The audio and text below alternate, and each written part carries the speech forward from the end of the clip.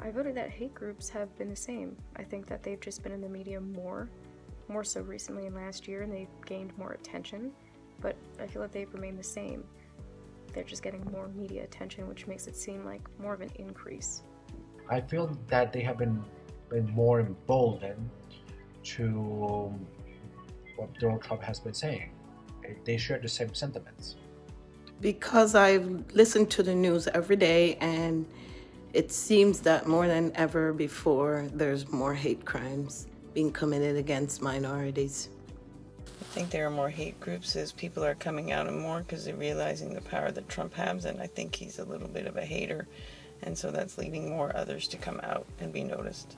That the hate groups have been more active. I think that Donald Trump, um, that he accidentally inspires um, white supremacists, and he has tried to denounce them, but it's hard not it's hard to resist um, their loyalty and passion and all that. They need to be denounced, and they are the cause of hate groups. I'm not gonna say Trump is the main reason why there are more hate groups in the world, but I will say that with America being more divided, that can lead to um, uh, the increase of hate groups. So I say he's have something to do with it, but he's not the main reason.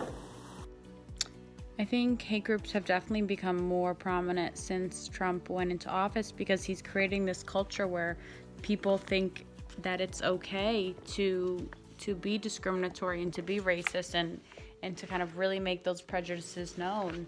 Um, and he has no filter himself, and I think that that's a really poor model for society.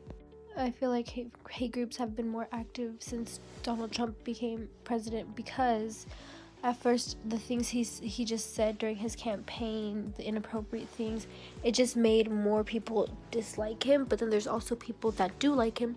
So then the people that dislike him and do like him they end up not liking each other and it just creates a really a bigger problem why did you vote that hate groups have been more active recently uh, because like Trump incites that at his rallies. Like he's been said, he would pay the court fees for somebody threatening somebody else, or you know, lock her up, and he would do this and he would do that. Of course, he's inciting that. He's giving people like that power to be that way. Um, so knowing that hate groups have risen seven percent in the country I think they've always been there, but I think Trump has incited a lot of groups to be more vocal and to come right out and say more of how they're feeling. I think they feel more protected with Trump as president. And so I think the people have always thought what they've always thought. Um, but now they feel more free to be out in the open about it and to, to, to say how they feel in public.